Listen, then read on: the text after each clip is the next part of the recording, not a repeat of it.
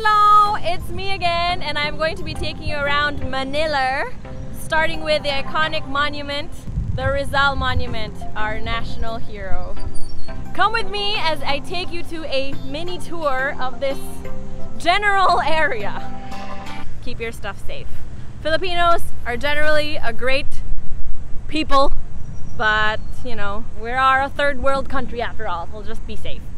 Okay. Over here is an Instagram expert. She is going to be teaching me how to do some Instagram poses around the sea parts. okay, wait, stop, stop. Come here closer. Okay, there. Cover the sign. There. That's what you do. Look away. Oh, look serious. Laugh at me. Laugh at me.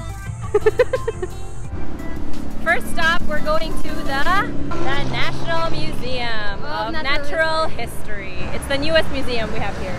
It's to fulfill your Instagram dreams. So all you millennials out there who's doing it for the gram, I got you. Kat's got you. Yeah. We all got you.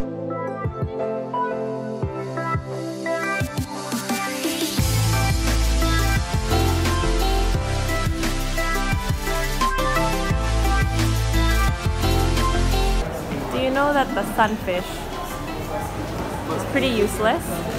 Fortunately, half of this place is still closed. But, you know, it's a nice place for architecture and stuff. Was it worth it?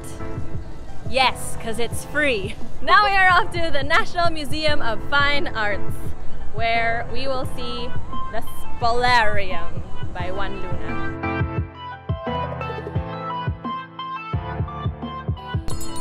This is the dirty ice cream. Then here in the Philippines, we eat them with buns. Why is it called dirty ice cream? Because it's street food. That's pretty much it. Mm. Ow, my teeth hurt.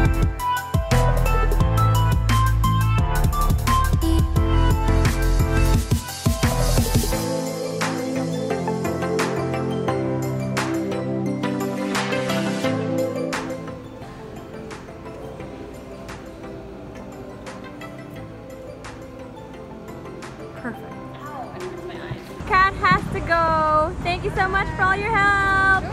Bye. High five. I'm left on my own now, so I called a friend. Please meet my new companion, Pauline. What's our next stop, Pauline? Intramuros. We're going to Intramuros. Conveniently enough, we found a tricycle, kuya. Kuya, pangalan niyo po?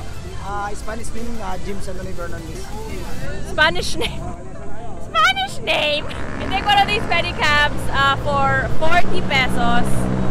That will take you to Intramuros and save you all of the walking.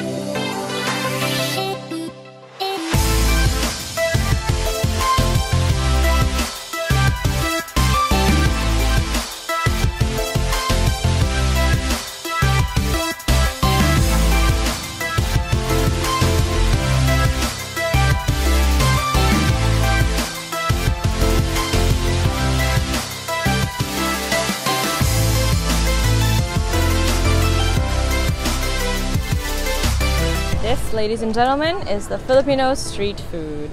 We have fish ball, kikiam, squid ball, hotdog, siomai, and the ever famous kwek kwek, or uh, quail egg dipped in some mysterious orange batter.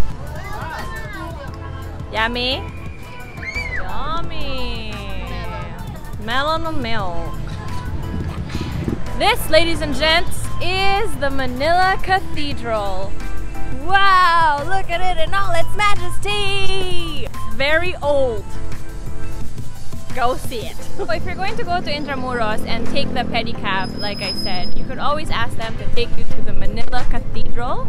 That is where all the horse carriages are, or most of the horse carriages that can take you to a tour around Fort Santiago. This, my friends, is Fort Santiago. This is where our national hero, Jose Rizal, was detained before he was executed at the Rizal Park, where I took you earlier. It's a lot more interesting than how it looks like right now. Unfortunately, I can't take you inside. I am pressed for time. I have places to go and people to see. That's it, Fort Santiago. So behind me right now is the LRT1, every indie filmmaker's dream. Cue in the indie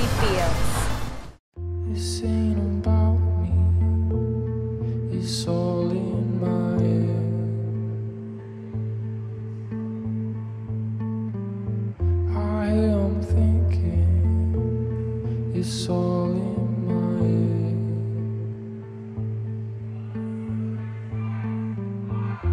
head. It's all in my head. All right, so a quick rundown of what we did. Uh, we took the LRT, went down the Gil Puyat station. We were supposed to ride a jeepney to our next destination, but there wasn't any available at that moment, and the most convenient way to go was via the e-tricycle.